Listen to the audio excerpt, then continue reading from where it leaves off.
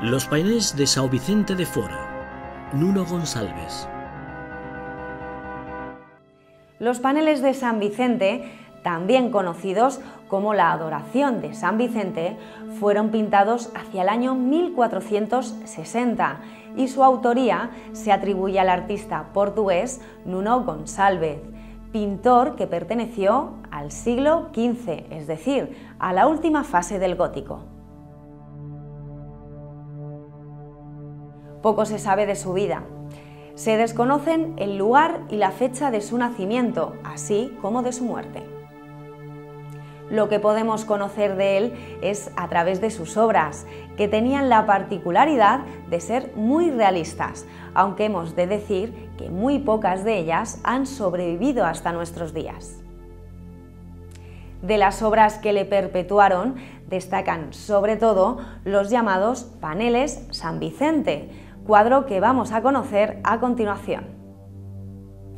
También fue conocido por realizar una gran obra para la Catedral de Lisboa, pero desgraciadamente esta fue destruida en el año 1755 durante el terremoto que asoló la ciudad. Los paneles de San Vicente es un políctico, es decir, una pintura dividida en secciones o paneles. El número de paneles que lo componen determina su nombre, Así, un díptico está formado por dos paneles, un tríptico tres y así sucesivamente. Este cuadro es un políptico, compuesto por seis paneles de roble separados entre sí, pintados con óleo y temple. Fue descubierto durante la década de 1880 en el monasterio de San Vicente de Fora, en Lisboa. Las figuras que se muestran en el cuadro incluyen a la corte portuguesa del momento, así como a representantes del clero, la nobleza y el pueblo. Comenzaremos nuestro recorrido de la obra por el primer panel, situado en la parte izquierda. Es el panel de los frailes, en el que están representados miembros del clero regular, que incluye a monjes y frailes y miembros religiosos auxiliares.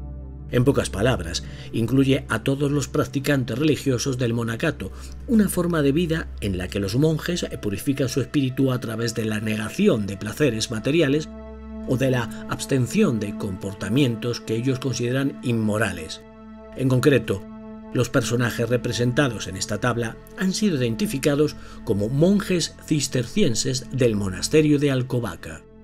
En el segundo panel, comenzando por la izquierda, aparece el grupo de pescadores, representado como personas anónimas. Un grupo como este raramente aparece representado en las obras de este periodo, lo que nos demuestra la preocupación del autor por representar a todas las clases sociales de su tiempo. Sin embargo, también se cree que puede hacer alusión a los navegantes portugueses tan exitosos en esos momentos. El tercero de los paneles, contados desde la izquierda, es el llamado panel del infante. La figura central representa a San Vicente, el llamado Ángel de Portugal.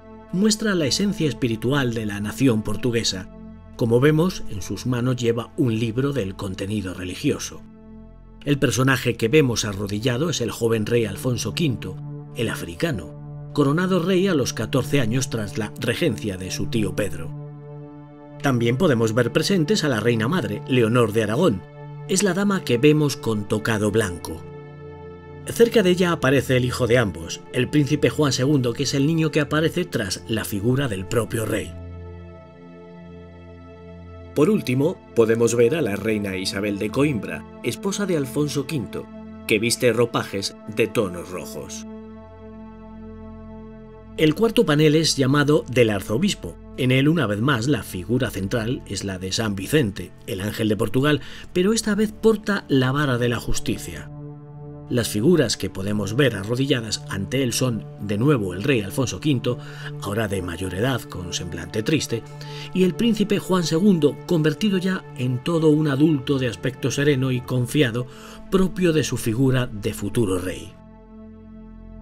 A los pies de ambos podemos ver que hay una cuerda enrollada, representa la unidad de la nación bajo sus monarcas.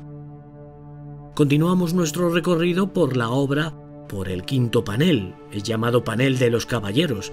En él encontramos representados, además de a los cuatro clérigos del fondo de la escena, a los cuatro hijos del rey Juan I. El caballero vestido de negro representa al infante Fernando, El vestido de rojo es el príncipe Juan y el de verde es el príncipe Pedro. Y por último, el caballero que vemos arrodillado, vestido de color morado en postura arrodillada, es el infante don Enrique. Curiosamente, este era el único que quedaba con vida en el momento en que se realizó el cuadro. La sexta y última tabla es conocida como el panel de la reliquia. En primer plano encontramos a un personaje ataviado con un traje rojo y que lleva en su mano una caja de terciopelo verde. Se trata de la reliquia de un santo. De pie, hay dos personas, un mendigo que lleva en el pecho una zamarra y otro individuo llevando un libro que mantiene abierto, pero en el que no se pueden leer sus caracteres porque están supuestamente cifrados.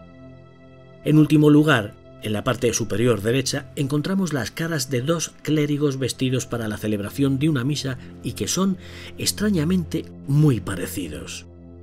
Podemos decir, en resumen, que los paneles de San Vicente son la culminación del arte gótico portugués.